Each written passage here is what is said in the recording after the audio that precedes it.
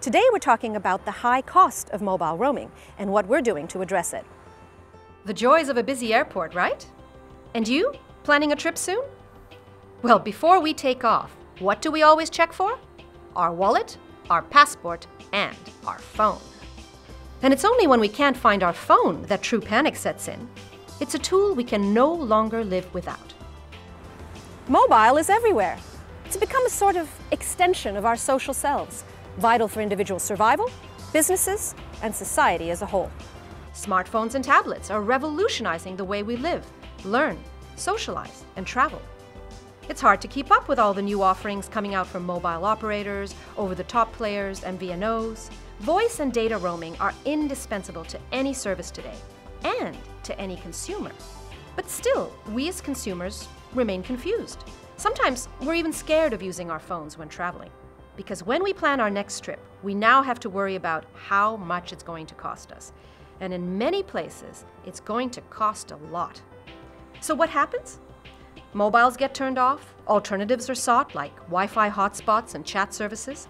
To add to this, high roaming prices stifle the development of even richer applications over M2M, NFC, LTE, the Internet of Things. Regulators the world over are grappling with this issue. The European Commission has been extremely active, but nonetheless, the perception remains that roaming is a luxury to be used with caution. And this seriously affects the bottom line of mobile operators.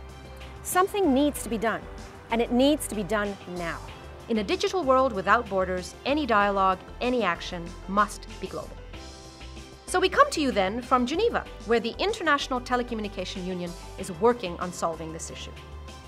The UN agency's mission is to extend the benefits of communications to everyone, everywhere.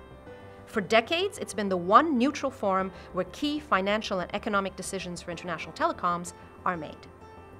Its Study Group 3 on standards is working towards setting rates for services that are as low as possible for an efficient service.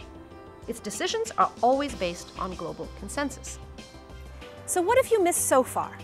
Well, in 2012, the international community, through Study Group 3, approved the first ever global public private agreement of its kind on mobile roaming. It's called the ITU-T D98 standard. And since then, the ITU has been called upon by regulators and industry alike to continue its groundbreaking work on setting standards for roaming. Over the next few months, we will be evaluating bottom up cost models for roaming both regionally and globally.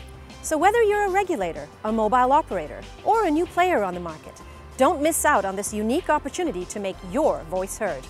Shape the future of mobile roaming and shape the rules that will govern your business.